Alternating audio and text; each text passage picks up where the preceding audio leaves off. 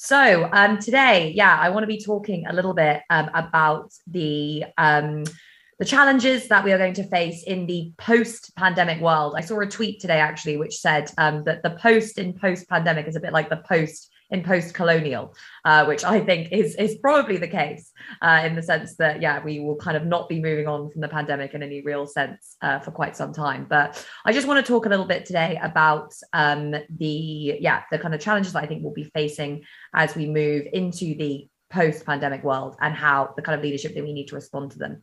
Um, sorry guys, I'm just going to I just for some reason have lost the view on the screen.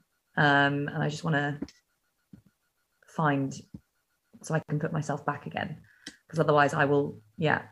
I was just saying to Owain before this started I have done it before where I've been speaking to the screen and it's cut out and I've not been able to see so I'm just going to try and get myself up on this again.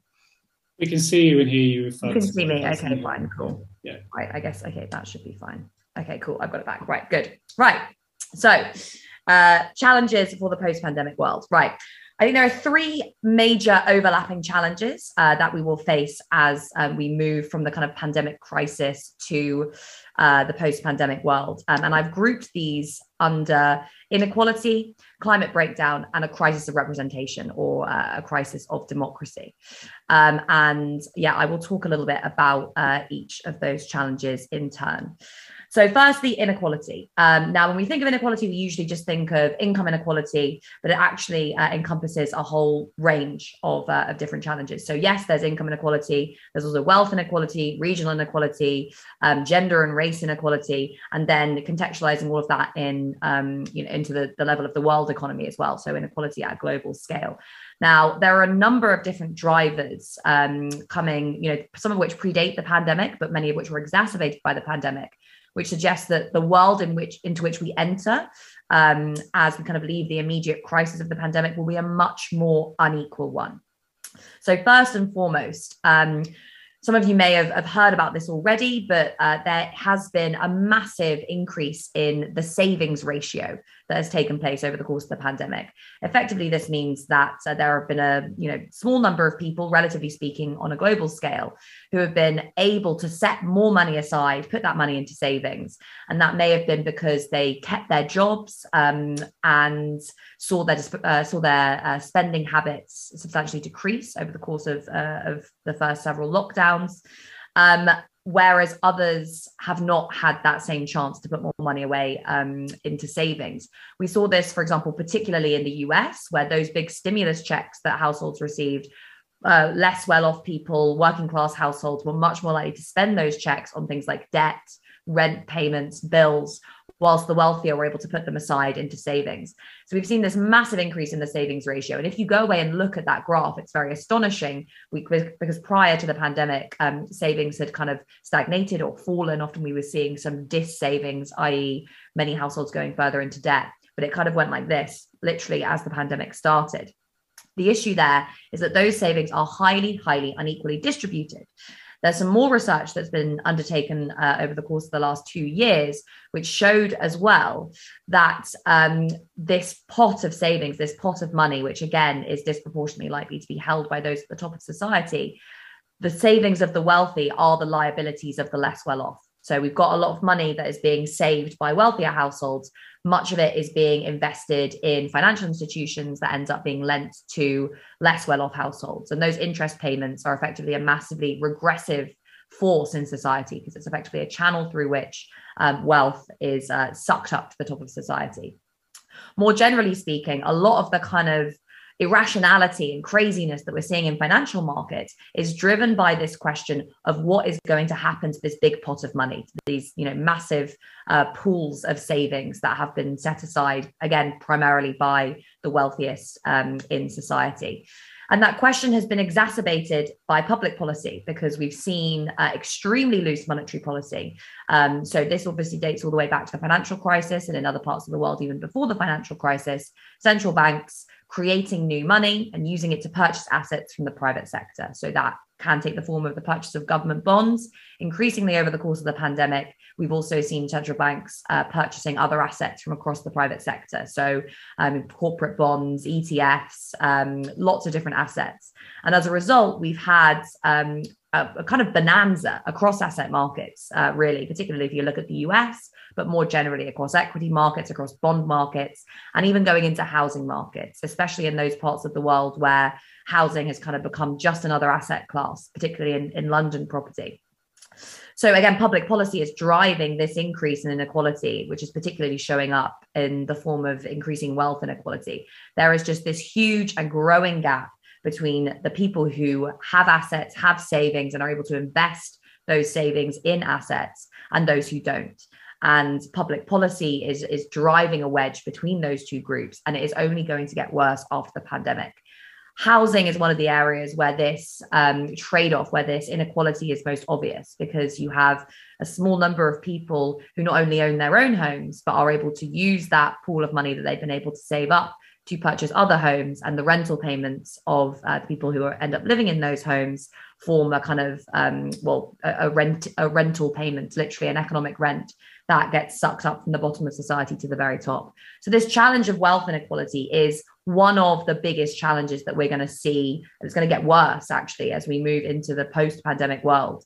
Um, and it's being exacerbated by public policy Another set of factors that are exacerbating this increase in inequality, this time looking at um, income inequality, but also to an extent wealth, wealth inequality, is growing monopoly power.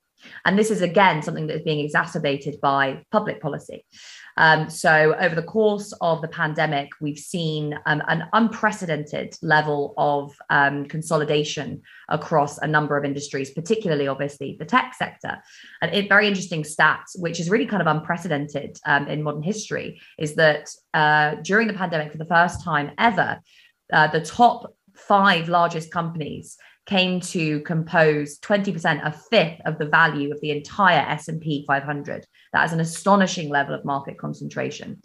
And it's interesting the way that economists treat this trend because they say well as long as it's not having an impact on prices it doesn't matter. If you take a firm like Amazon for example you know often its business model is based on the fact that it will keep prices as low as possible in order to tempt as many customers as possible into using its service service not primarily as a you know short-term profit maximizing strategy but as a long-term monopolizing strategy. And this is something that we haven't seen competition authorities pick up on. They say if there's not an impact on prices then it doesn't matter. But of course we are allowing a small number of very powerful corporations to gain a huge amount of control over society more generally. And you can see that with the big tech companies. You also see it in pharmaceuticals in agrochemicals and food rising market concentration across a whole number of industries. And again, being exacerbated by public policy, not just competition policy, of course, but also, you know, in a in an environment in which um, money is very easy, it becomes very very easy for large, powerful corporations to borrow more in order to buy up other companies,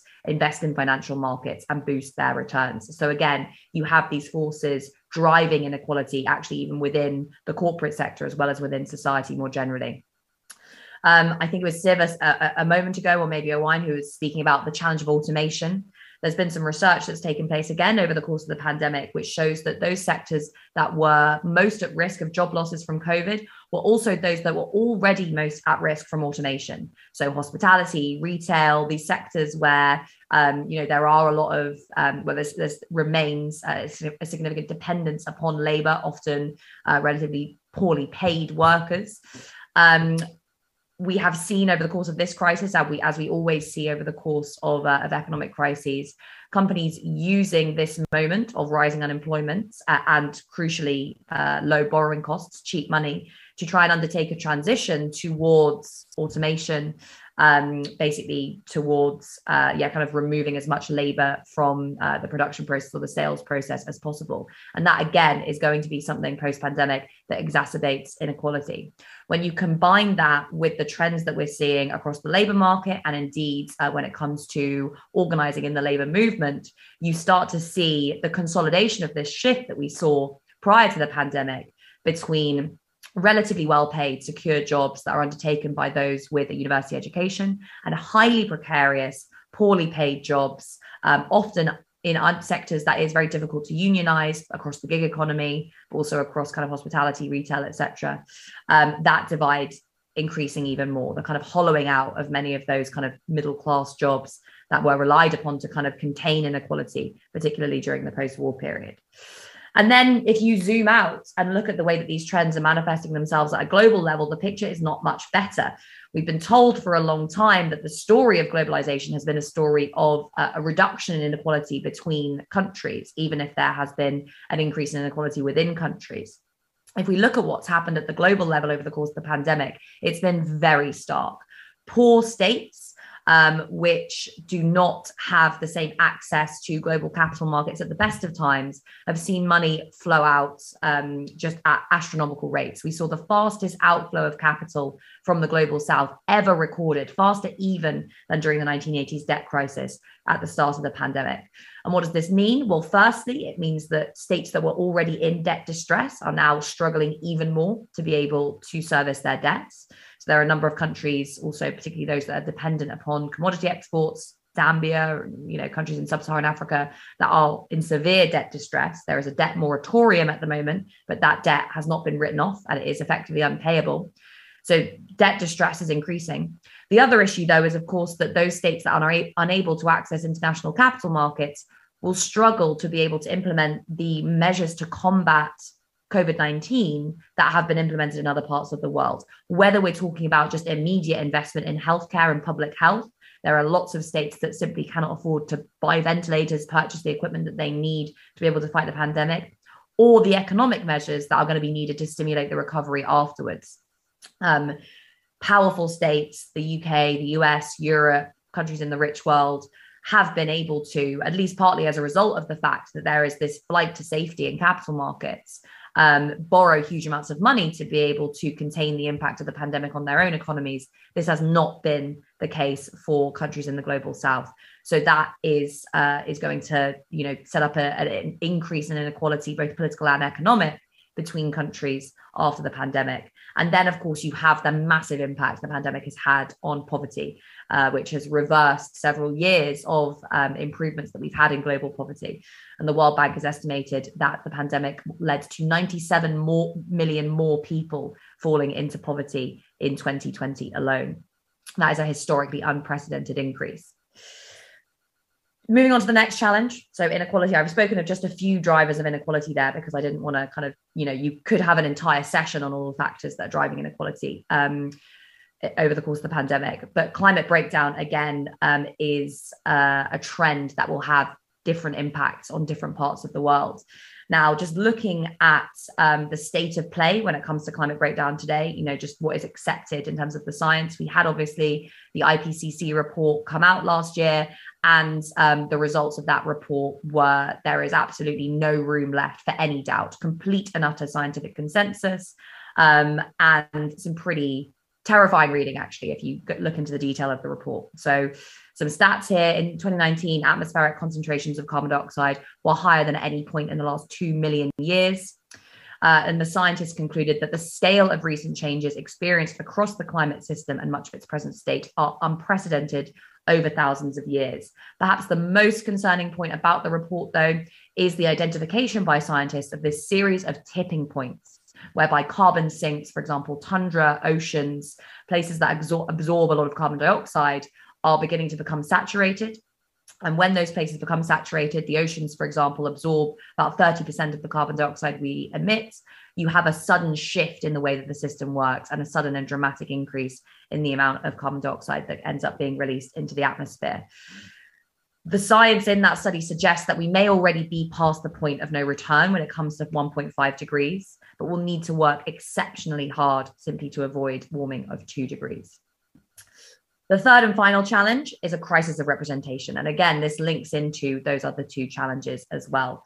Um, we have seen across the board in across the rich, rich world, but actually across the world more generally, a pervasive decline in trust however trust is measured in most social institutions and particularly in kind of democratic institutions in legislatures in um, uh, as, as, well across the media across the judiciary.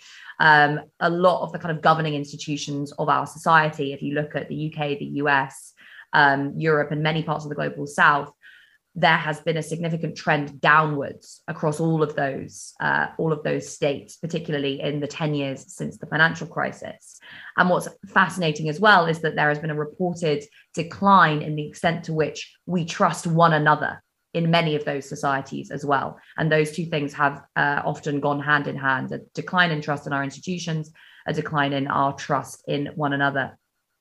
We've also seen, uh, you know, across the board a pushback against the kind of technocratization of politics that was really a feature of neoliberalism. So if you look going back uh, to what I mentioned in, in the first point about inequality, about much of that, you know, the incredibly unfair impact of monetary policy at the moment that would have been very difficult to do had it not been for the technocratization of central banking the fact that during the 1990s, at the peak of neoliberalism, central banking was uh, determined, was deemed something that was a purely technical operation that therefore didn't have to be subject to democratic control. And so was insulated from democratic accountability um, and handed over to technocrats who spent a lot more time talking with and socializing with um, the people they were supposed to be regulating than they did with um, the rest of society more generally. There's a, a, very interesting quote coming out of the UK, uh, literally, you know, a few years after independence independence, where a senior economist at the Bank of England, um, after raising interest rates, reportedly said that unemployment in the north of the UK is um, a, a, good price to pay for curbing inflation in the south. These are the kind of distributive decisions that are being made by unelected technocrats every day. So it perhaps is not surprising that we hear these calls to kind of take back control and we hear this decline in trust in our democracy. Um, we've also seen, again, and I think this goes hand in hand with this crisis of representation. And this is actually what I'm writing about at the moment a massive centralization of capitalism. And when I say centralization, what I mean is that power and wealth are becoming increasingly concentrated in a small number of very powerful institutions. And this is true across the economy, but it's also true across politics. Um, so, across the economy, we're seeing, obviously, as I've mentioned, increasing monopoly power, um, a small number of kind of uh, powerful firms and financial institutions that are really making decisions every day that affect all of our lives. Um, you know, we have this idea of, of capitalism as, as this kind of free market system where the market is this big uh, decentralized democratic mechanism for allocating resources. But actually, the vast majority of decisions about production and often the allocation of resources take place within these big, powerful firms. Um, and it, within those firms, there is very little accountability. There is, you know, no democracy. And as a result of the um, kind of attack on the labor movement that we've seen taking place over the last 40 years, as well as the kind of outsourcing revolution that's really broken up the uh, um, the mechanisms of accountability within those firms. Again, there is not there are not uh, very many kind of mechanisms to hold those people who are making these important decisions to account. But we've also seen this across politics. We've seen it both at the level of the nation state, the centralization of power within the executive, and also at the international level, with a small number of very powerful international financial institutions, for example, like the World Bank and the IMF, making decisions about the policies that countries can and should pursue if they want to get access to uh, to credit. So these three challenges. Um, they are very broad, they encompass a lot of other, other challenges, and they are highly interconnected. Um, and I think they can really be grouped under um, this heading, under this challenge of kind of centralization, of the centralization of power within our, our politics, within our economy. And the question that we obviously need to be asking ourselves then when we think about leadership is what kind of leadership do we need to face these challenges?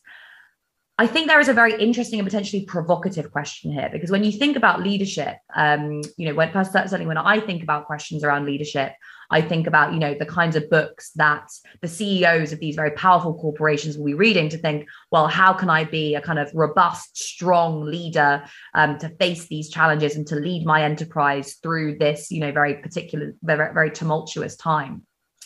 But I would say actually that is the kind of opposite of the approach that, of to leadership that we need today because if the problem, if the challenge is the centralization of power, then trying to teach our leaders to be better by following a set of, you know, rules and laws that we develop, you know, in in, in academia or in, you know, business studies or whatever, that's not going to cut it. Because what we really need is accountability. None of these challenges are going to be solved without accountability.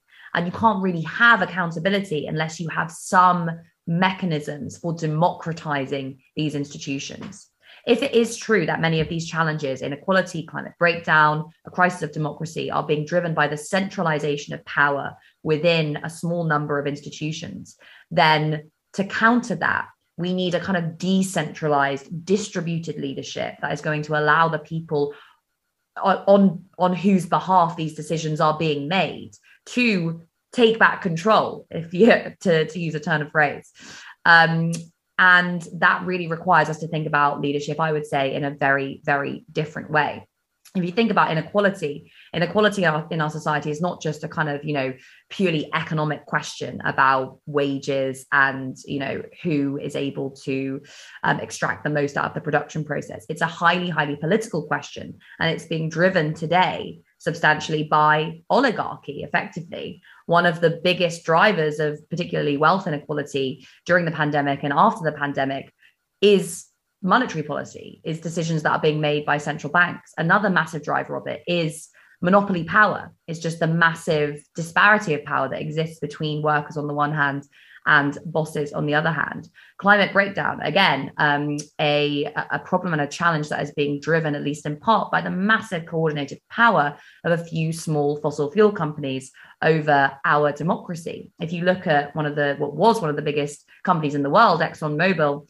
ExxonMobil scientists knew about climate breakdown in the 1970s at least. And after um, Exxon's CEO put, uh, after Exxon's leadership, sorry, put um, its um, research team onto basically researching what then became known as greenhouse gas effects.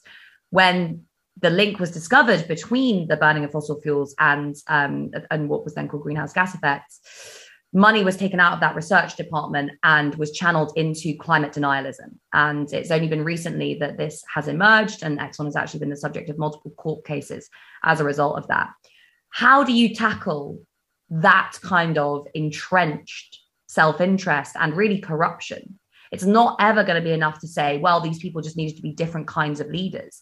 Clearly, the incentives that they were facing, if they were able to do you know something like that if they were able to make those kinds of decisions were not right and it's those incentives it's those structures that need to be challenged and reformed so I would say that the challenge we face today, uh, if we're going to be able to tackle any of these things, if we're going to tackle inequality, climate breakdown, um, and the crisis that we're seeing in democracy, is that we need to be able to demonstrate and promote leadership from the ground up, from the grassroots up, really. Greta Thunberg is a great example of this as someone who um, has stood up from, you know, within a social movement and really taken leadership, taken the challenge of leadership as something that involves holding the powerful to account. Um, we see this challenge manifest itself across the trade union movement, across the labor movement, across social movements more generally. Leadership at every level of politics. How do we um, create this culture of leadership that really is about holding the powerful to account and is about building counterpower, not what I think a lot of people think about when they think about leadership, which is investing a small number of people with trust to make decisions on everyone else's behalf. Actually, how do we build the kind of leadership that we'll need for a century in which I think the defining challenge will be how we democratize our society, how we democratize all of our social political institutions. How do we bring power back from the very, very top where it's been concentrated, drag it back down to the grassroots? Because unless we are able to do that, unless we're able to combat these forces of centralization that have brought us to the position that we're in today, then we will simply not be able to, to develop the kind of politics, let alone the kind of policies that we'll need to uh, tackle the challenges that we face in the post pandemic world. Thank you very much. Thanks, Grace. That was brilliant and um, really thought provoking. Um, I, I, thought I would I would kick off with a question, but we have had uh, one already from Tristram. But just to encourage people, just type in the in the Q and A box if you've got a question, and I'll I'll try to get to as many of them as possible in this just over half an hour that we've we've got left. Um, I mean, I've got so many to ask. Actually, I could I could spend most of the rest of the evening talking about Greta and whether we can generalize out from from her example and her movements example. But maybe maybe just first of all, I'll I just I just wondered, you know, where in the world, or or is there any particular activity somewhere in the world you think we can be learning from at the moment? I mean, I know you know we can't just replicate one practice worldwide and hope that it will work everywhere. But I'm wondering if there's you know a particular example or two of something really kind of inspirational that you think, yeah, actually this this could kind of work to democratize our economy a bit more. Yeah, so the, the model that immediately pops to mind is actually community wealth building. Um, and the one of the best examples of that in the UK is Preston City Council. Um, so the whole idea behind community wealth building is really to push back against the centralization and technocratization of power that we've seen within the state over the last 40 years. Obviously, a big part of that has been the outsourcing model um, that a lot of councils have relied on, basically, kind of um, cutting the provision of services in house and outsourcing them to big companies like Capita, you know, um, Interserve, etc. Um, and in doing so, that model not only ended up, you know, basically worsening outcomes across the public sector. Uh, the National Audit Office has done a lot of research into what a bad deal outsourcing often is. It also really broke that chain of accountability between the public and um, their service providers. So that was a, a, a real challenge that um, community wealth building, uh, you know, people interested in community wealth building were looking to solve. Um, and it was initially trialed across um, a number of parts of the US and it came over to the UK to Preston City Council, which was really facing quite a substantial crisis. Um, it was facing a budgetary crisis. And then there was a, a, a, deal that was supposed to kind of redevelop the area that fell through.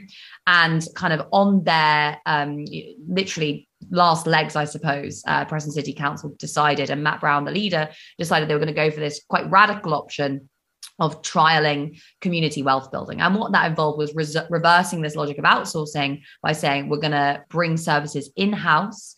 Um, we are going to provide as many services we can locally, and we're going to try and keep as much value locally as we possibly can. So the council using its power as a procurer to boost cooperatives, to boost uh, worker, uh, sorry, um, uh, enterprises with good relationships with their workers that are unionized to boost uh, businesses that have a good carbon footprint. Matt Brown has now spoken about trying to build community banking as something that's going to be really important to uh, continue facilitating that. And just really making sure that the democratic link between the local council and local people is strengthened. And the results of that have been really, really astonishing. So not only has there been a, a really significant economic impact in terms of the, the spend that the council is undertaking, it's creating many more jobs locally than it otherwise would have, certainly um, than it would have if it had been spent on Capita or whatever, which just, just would have ended up as kind of profits in the pockets of, uh, of its senior executives. But also when you look at people's attitudes towards democracy locally, there is just so much more trust. And it's not a coincidence that um, in the last uh, local elections, uh, Preston did really, really well, bucking uh, a, a, nationwide trend. And when you asked voters about that, they said, well, you know, we can see the council is doing a lot for us and we feel like our voice is being heard. We feel like, you know, we can see that we are being represented. Um, so I think that was a really interesting example of the kind of leadership that we need, right? Um, not just you know, on behalf of the campaigners who really pushed for this to take place, but also on behalf of, you know, the leaders of the council. It's very easy, I think, to be in a position of relative power and think, right, well, this is my fiefdom. I need to hold on to as much power as possible. But I think the challenge for uh, for leaders today is thinking, how can I create mechanisms that can allow myself to be held to account, even when that's difficult? And that requires a lot of um, uh, well of kind of conviction and and and stamina i think. Um, and you know what they've achieved in preston is really a testament to what can happen when you put the meat back on this idea of, of democracy. Thank you.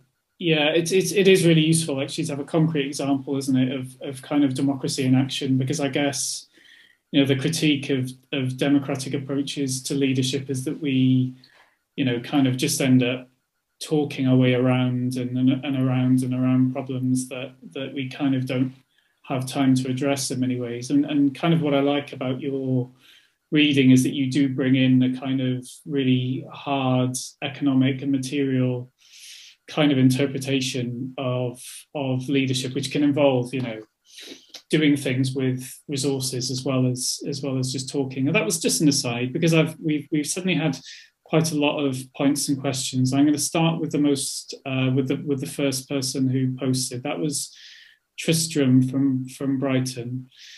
Tristram says, in Stolen's conclusion, you said control over the state must be used to disrupt the power relations that undergird the existing order and build up new institutions. Aren't cooperatives and mutuals that already exist a possible already existing example of these institutions? Can't we disrupt power relations, therefore, without control over the state, but through mass movements, investing in co ops and mutuals, taking capital away from private finance and into common ownership and accountability? So, uh, yeah, so I guess Tr- Tristram here is, is, is making the case, or at least um, asking that we consider the role of um, non-state actors such as co-ops in in democratizing yeah it's absolutely um, important that we focus on um, already existing institutions and i do that actually in my latest book look at parts of the world where um, and and, uh, and, companies and um, and co-ops and mutuals where this kind of democratic form of, of organizing and management is already being tried um, and there are a lot of examples actually of, of um, often sometimes quite large corporations and institutions that have sought to govern themselves based on democratic principles and have done so extraordinarily well.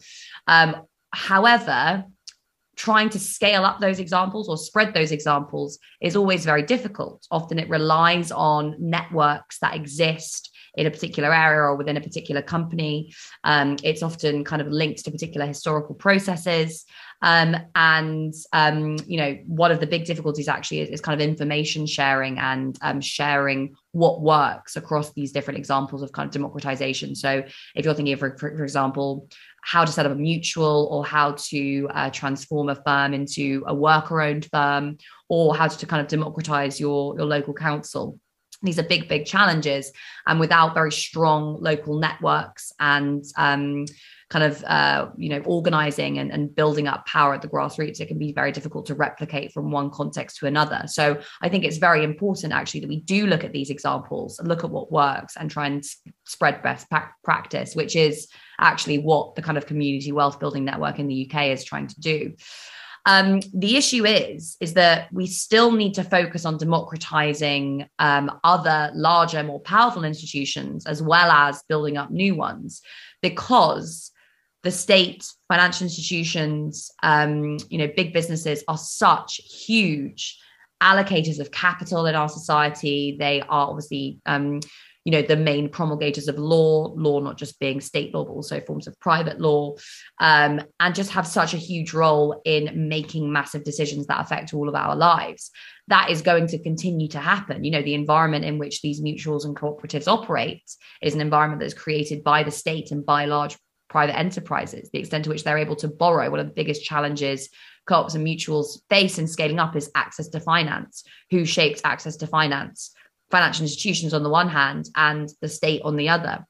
Um, so yes, it is very important to look at what works um, when we are building up new institutions and how we can kind of spread that knowledge and uh, and use it in other contexts. But uh, you're not going to see real transformative system change unless there are also campaigns to transform the way that other larger, powerful institutions work.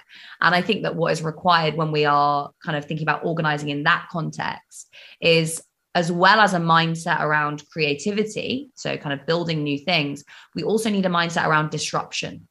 Um, and particularly, you know, when you're thinking about big, powerful firms, um, you know, like for example, Amazon, right? We've seen over the last couple of days, um, two employees have died in Amazon warehouses, and the company is basically still tweeting about going to space, right?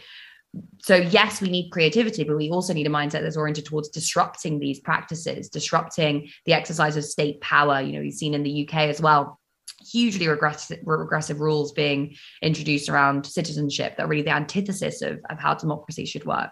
So these things need to be resisted because the way in which power is concentrated at the moment means that um, you know that power will be used against movements that try to push back against the status quo even if you're doing so in a way that looks relatively harmless Um, so yeah, I think we need to kind of combine this much more kind of creative, less oppositional mindset with a more um, with a more one that's oriented towards resistance as well.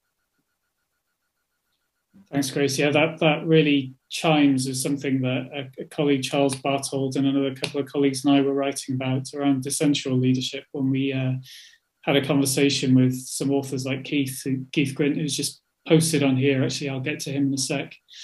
And this this idea actually in leadership, sometimes the leadership can be a very embodied physical thing that involves doing things in particular spaces that disrupt and and disjoint rather than just you know rather than just sorry as if talk isn't hard enough but rather than you know talking away through problems um, I've got uh, a, a, question from, and I, I, think Jonathan had a had a question which was a very open how, but I think we're kind of getting there slowly, Jonathan. So I'm going to park that for a second and move on to Nathan Harter, who um, says the sense of suspicion of centralized authority can manifest in populism, as for example, Brexit.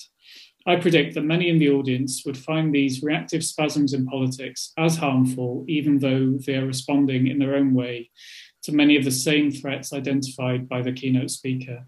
Is it possible that as scholars we can make common cause with such movements? So, um, what do you think, Grace?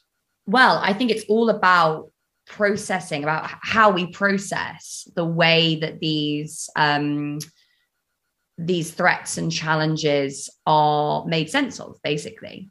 Um, you know, if we think about the rallying cry behind Brexit, right, this idea of take back control, the right has been extraordinarily successful at manipulating the response to a crisis that they themselves created. So, um, you know, the financial crisis and the kind of assault on democracy that followed that and indeed preceded it was very much the result of the kind of neoliberal revolution and the pervasive decline in trust in politics that we've seen since then was also used by the right to push this kind of very reactionary, xenophobic movement around Brexit, but you know, you see it more generally across the world now, the kind of anti-globalization movement um, that is pushing back against uh, yeah, kind of any form of um, uh, cross-cultural mixing or um, you know, just any spreading of, of people and uh, and ideas around the world. Um, that the success that the right had being able to to do that was a directly linked to the failure of progressive movements to provide a narrative around what was going on in people's lives and say this is the solution. So I wouldn't say we could join up in any way with those movements, but what I would say is that we need to be identifying the problems correctly and being able to um, vocalize solutions. Um, and a lot of people um, on the left, I think, will have responded to um, these questions around kind of like take back control and uh, the you know fairly reactionary and and xenophobic um, lines that often go along with that by kind of saying and you see this actually quite a lot in in progressive spaces uh, that actually we need to listen to the experts. We need to kind of you know brexit is going to be something that's going to harm everyone. And here's the the science and here's the economics and kind of deferring to other leaders and other experts basically. And i think doing that whilst it might seem particularly appealing to you know especially those in kind of academic and intellectual spaces to say well actually no that isn't correct. Look at this evidence um, it doesn't answer the real um, i suppose kind of you know emotion and and feeling that underpins that call to take back control which is this sense of alienation and disempowerment right um, so it would be easy for progressives to say, you know, basically pitch, and this is what I think we've been doing for quite some time now, uh, to pitch um, our arguments as a kind of direct opposite to those of the right and say they want X, Y, and Z, we want, you know, A, B, and C. Um, but I think the challenge is much deeper than that. It's actually about answering those questions of alienation and disempowerment by saying, we think that we should build a more democratic society. It's not just about asking people to vote for this person so that they can solve everyone's problems. It's actually about saying we want to hand power back, whether that's, you know, decentralizing our politics, handing power back to local administrations, whether it's building up the trade union movement, so kind of decentralizing power within organizations, democratizing our public services, all of these different sorts of things. And actually saying, you know we want to build a society based on these forms of decentralized and distributed power not just answering calls for you know um, answering kind of a reactionary movement with a movement that is a kind of top down technical response to that that points out all of its flaws um, so yeah, you know, I think we need to be aware of the challenges and questions that are motivating a lot of these calls to kind of take back control and these this general suspicion around politics. You saw in the US as well, this kind of drain the swamp reaction against politics in general. That needs to be understood, but it needs to be interpreted. And that process of collective interpretation and movement building that takes place on the back of that is in many ways much more important than the answers that we actually come up with. Thanks, Grace. I'm going to just, um, I, I, guess, insert a slightly provocative one before I move on to the next couple of questions, which is uh, th- Does the world have time for this kind of leadership? Or, or is uh, you know, the tipping points um, in climate change so acute, maybe, that actually people like us who talk about democratizing leadership and so on might in, in a funny sense be be part of the problem. Well i think the attitude that we often see which is that speed requires and kind of you know forceful reaction to a problem requires centralized leadership um, is really really wrong. And you see this uh, actually quite a lot across kind of um, development studies and, and um, political science more generally, it's this idea that you know you need a strong man to be able to solve any of a nation's challenges, right? And whenever this happens, often you get an initial attempt to respond to this particular challenge, but it just end up ends up creating more challenges down the line. And the reason for that, I mean, you know, when you're, you're talking about any social system, any environmental system, you're talking about a complex system. And acting within complex systems means that if you just have this fairly rigid, top down authoritarian model of leadership, you're going to cre- end up creating problems in other places. When you pull on one lever, you won't know that that's going to create all these different effects in all these different other parts of the system. The response to that, I think, um, is not what we've increasingly seen across our politics, across our economics, was to say, which is just to say, right, okay, well, make sure that we have one person who has their hands on as many of these levers as possible, because it's just impossible. It's never going to work. It's actually creating a resilient movement for change, creating one that will create lasting change across all of these systems, means creating a democratic movement for change, um, one which um, you know takes in information from lots of different parts of this system and allows lots of different um, responses to kind of come out of that and build momentum on the back of that. That's actually why I think organizations that are democratic end up being much more successful because they're able to respond much more proactively to what happens in their environment. So, you know, you might say, well, to respond to climate change, we need one guy making all the decisions. But who has the ear of that one guy? ExxonMobil is much more likely to have the ear of that one guy than, you know, climate campaigners and, organizations. Um, so there's that question of, of capture. And even if, you know, the right people have the ear of that one guy, what if the answer to that question ends up being, right, okay, well, we'll just do carbon capture and storage or um, spray, um, you know, uh, aerosols into the atmosphere and do mass scale kind of um, geoengineering? What are the kind of long term implications of that going to be? So democracy i would say is and, and, democratic movements democratic movement building is a precondition for any of this stuff happening. And yes it has to happen quickly but in many ways we're already seeing that happening quickly. Um, and a lot of what is kind of you know described as just talk or just protest or whatever ends up creating these big social shifts. You know, if you just look back to a couple of years ago, climate change was not nearly as on the agenda as it is today. How has it gotten so high on the agenda? It's basically been because of social movements, social movements, democratic social movements that have forced uh, us all to start paying attention to these things.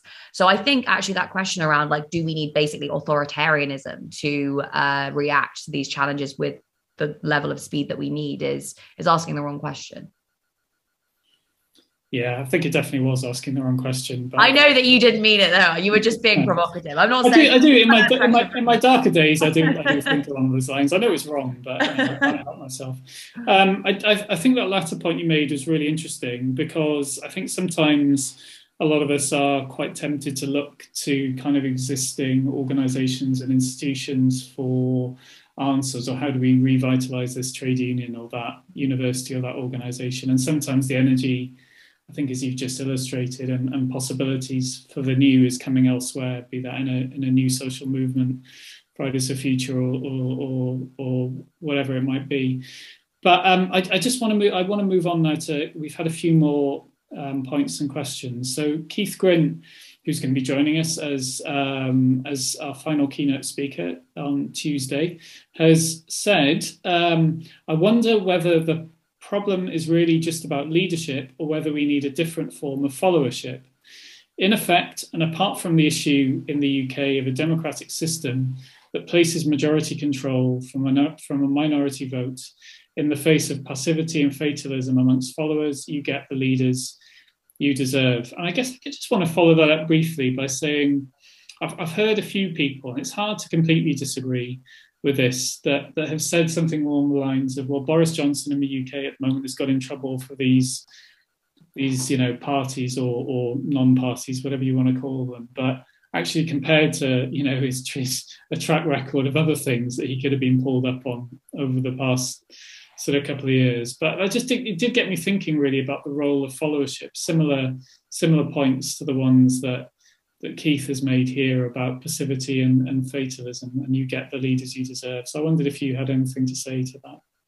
Well, I mean, I think the reason that we're hearing so much about this particular, you know, Christmas party fiasco is because it is um, a critique of the government that the media are very comfortable with. The media is, of course, not, you know, most senior journalists are not going to be comfortable critiquing the government on areas of policy around, you know, migration or economic policy, often because they themselves are in favor of a lot of the policies that the government is promoting, right? So a huge amount of our media ecosystem is geared towards pushing the kinds of policies around regressive policies around migration, um, and actually even on the economy that uh, the government has been pursuing. So I'm not surprised that the one bit of you know pushback we're getting against this government has been around something that is very easy for the political class and the media class to kind of understand and, and talk and think about a kind of classic political scandal rather than these much wider questions around around policy. But that that that question particularly around do we need a different kind of followership because everyone is so passive and you know people aren't paying attention or they're not as outraged as they should be i think that that is the result of um, the kind of atomization that we see in highly individualistic societies of the kind in which we live, where the problems that we're facing are very, very complex and they require that um, grassroots organizing in order to be able to combat. And yet you face the world, you face all these really complex challenges as just one isolated, atomized individual who is told that you know you are just you. You aren't part of a society. You're certainly not part of a movement or a trade union because those have all been destroyed. And that is designed to create passivity and fatalism. That is why we have at the very core of neoliberalism this idea of just the homo economicus the one heroic individual going out into markets and doing their own thing. The way to combat that is funnily enough just by engaging people in organizing as soon as you go from just being one individual who's you know is like in in their own little household doing their own thing doing their own job to organizing in a trade union or organizing in your, in your community you start to conceptualize yourself and your role in society in a very very different way and i've seen this time and time and time again in terms of being in social movements when new people come in you start to feel more hopeful. And even if you don't feel more hopeful, you certainly believe that the route to change is not just, you know, um, trying to like, I don't know, stop using plastic straws yourself, right? Which is exactly the kind of like activism that would be encouraged in a highly individualistic society. But it's actually by participating in this movement. When you start participating in movements, you start seeing, oh, wow, there are all these other people who are just as concerned as I am with all these issues. And you start often seeing that you really can make a difference, even if it is just a tiny difference, like stopping your local library from being closed. Um, that can make a massive, massive difference in terms of how fatalistic you are versus how optimistic you are. Um, so, yeah, I really don't think the question is necessarily uh, just, it, I don't think the problem is just oh, people are too fatalistic, so they get the leaders that they deserve. I think the problem and the challenge is individualism, and the solution is just getting all these fatalistic people to come together as you know as much as we can in social movements in trade unions to show how much they can achieve um, you know the last time i think we really had some of these strong social movements in the uk was probably around the 1970s um, where because of the strength of the labor movement, because of the relatively more um, democratic ways that we had of organizing the economy and organizing society. So if you're a you know trade unionist you might have some experience in actually collective bargaining at the level of the state or engaging in decision making that would take place within your organization um, working people had much more confidence in their ability to shift the way that the economy works. And we saw that when you got the neoliberal shift and there was mass strike action across society that ultimately you know the only way that the state was able to combat that was literally by using the power of the police the power of the military to kind of push down and, and restrict this strike action. But that was really a time where i think you saw um, successive gains that had been made by organized working people, giving actually more confidence and more of a sense that they had the capacity to change the status quo. The position that we're in now, one of fatalism, is really the result of you know years of basically working people being beaten down. But I think that a lot of the organizing that we're seeing, a lot of the social movement organizing that we're seeing, and trade union organizing that we're seeing now, um, in which there's been a, an uptick over the last couple of years, is starting to push back against that. And I think that's the only real cure to this um, question of fatalism. Yeah, thanks ever so much. And there was that there was a case, wasn't there, of a Starbucks store, I think, on yeah. the weekend unionizing, which was a really interesting example of um, in more kind of precarious hospitality uh, businesses, people, workers having a bit more agency. That could be the beginning of, of something, who knows? But um, let's see. Okay, we've got um, uh, a, a, question from an anonymous attendee, very mysterious and exciting. Um, some of the information and stats you've mentioned, Grace, are very interesting, but it's the first I've really heard about uh, about some of them, and I like to stay reasonably informed. How important is it that this information is seen and heard by more people to inform them, and that this change? Oh, sorry, I, am not reading this out very well at all. My cursor, I can see it. Don't worry. Yeah, you can see it. Okay, well, I'll, I'll, let me read it out for everyone. Anyway. How important is it that this information is seen and heard by more people to inform them that this change is needed, and how can that be achieved? Yeah, well, obviously, I think it's very important. That's why that's what I do. um, but yeah, I mean, you know we don't have the kind of media ecosystem that we would need to be able to make a lot of this stuff common knowledge. Um, now we've obviously seen that when it's come to you know questions like around around the climate for example. Um, but you know it's equally true today when we're when we're thinking about all of these challenges. What i would say is that i'm encouraged by um, you know the kind of new media that we have and the reach and the scale that it is getting. And also the platform that that is providing to people who can then go on you know out into mainstream media and, and push some of these messages. Um, there are a lot of reasons to be hopeful i think about kind of democratic alternatives to the mainstream media um, in the uk and around the world. The uk is actually kind of not is re- relatively far behind in terms of building up new media organizations as compared to somewhere like the US or parts of Europe. Um, so I think that's that's really how we need to think about getting this conversation spread much more widely. Again, the right has been much more successful in using new platforms to build a kind of alternative media organizations but i think the left is catching up and i think there is demand for it there's huge demand for it people are really especially young people young people quite broadly defined, very sick of basically watching kind of, you know, standard mainstream media push the same kinds of stories and responses to those stories that they have been for the last several decades and are increasingly looking for new ways of getting their information.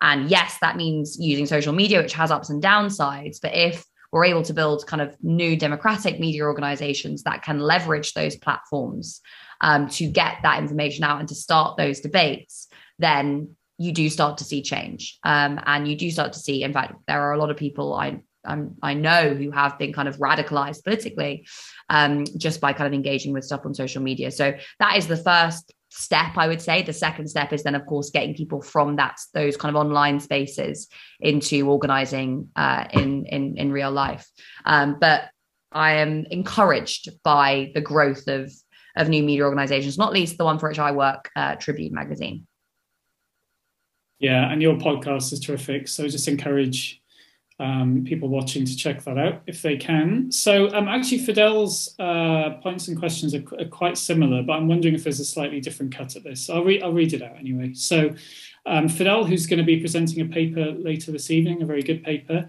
has said, How can we get new leadership without addressing the issue of ownership of the media that controls the narrative?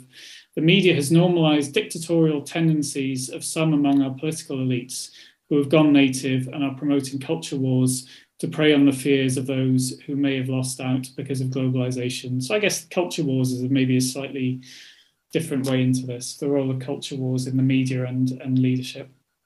Yeah, I mean, um, those on the right are really like fans of saying that, oh, it's lefties who are pushing all these culture wars, but actually the culture wars um, are disproportionately started and maintained. The the, the uh, you know those flames are fanned by those on the right who see it as basically a kind of convenient distraction to have us talking about I don't know Meghan Markle or um, you know some other manufactured controversy rather than the substance of, of policy. Um, and that is, yes, kind of reinforced and, and, and fed into by the media. One point there, actually, I would say is that I remember um, one political journalist speaking to them, and, and they were basically saying, look, we do stories based on what politicians are saying. And if the opposition isn't saying anything, then it's difficult for us to be able to kind of hold the government to account because we'll be accused of bias. So there is actually a kind of question there around the kind of politics that we have and whether or not the opposition is holding the government to account as well as just the media. But more generally, you know, we can't rely obviously on mainstream media to be able to give the kinds of in-depth, interesting, structured um, view of these challenges and and responses to them.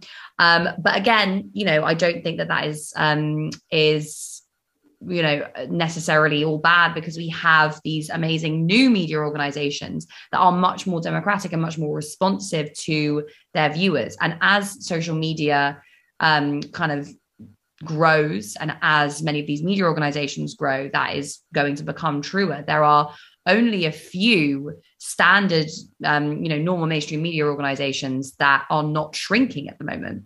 And that's basically the financial times and the economist right? And now i've thought for a very, very long time that we need something like an economist of the left.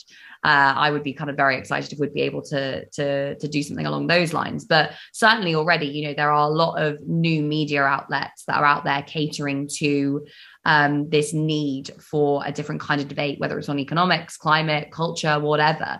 Um, and they are really corroding the market shares of these more established incumbent media organizations. And those organizations are going to have to respond if they want to survive. And if they are going to have to survive, they're going to have to start really, again, I would say, kind of democratizing themselves. If we're moving towards this model, like, for example, The Guardian is of trying to say, right, well, we want people to donate. People who are donating to keep that organization alive are going to want to have some influence over the way that it's structured, right? So again, I think we need to really be pushing this line around democratizing the media. And that can happen both by kind of challenging within existing organizations, but also building up new ones. And of course, those new um, those new organizations can also act as um, uh, kind of testing beds and incubators for you know young diverse working class voices who can then themselves get into mainstream media and start challenging things from there there's a great organization called neon the new economic organizers network who does does media training um, with kind of progressive voices particularly from disadvantaged backgrounds um, who you know are then trained up and, and go out into the media and start challenging some of this stuff so that also is is is really really encouraging Thanks, Grace. We've got a minute left, so I, am I'm, I'm wondering. Um, you, have addressed a lot of the you, have addressed at least some of the themes from your new book already, but I was just wondering if you wanted to to share with people um, sort of a bit of a tease what your new book's going to be called, when it's going to be coming out, some of the one or two of the main arguments? I don't have a title yet, but that is a story for another day. I will be finishing the first draft by the end of the year. So I am really kind of, you know, on the brink of, uh, of finishing right now. But basically, um, the book is really taking apart the distinction between free markets on the one hand and central planning on the other, and saying that actually capitalism is a system that is characterized by per- pervasive central planning. It's just uh, undemocratic. So it's central planning that takes place within large multinational corporations within financial institutions, within powerful states, within kind of international organizations. Um, and you know, absent that justification for capitalism, which it which the, is that it is a free market system and the market is a kind of democracy, then we need to really be thinking about how we democratize these institutions within which so much power is concentrated. Um, because, yeah, there's kind of the level of centralization, the level of, yeah, just power that exists at the very top of our society um, really undermines this idea of the free market, undermines the justification for capitalism on the basis that it's a free market. And I think creates a real um, uh, uh well, it should create a real impetus towards saying these people are making decisions that affect everyone's lives. The ceos of powerful corporations financial institutions senior politicians bureaucrats. They need to be democratically accountable and that requires us to democratize our economy democratize the firm democratize finance and it requires us to democratize our politics and democratize society more generally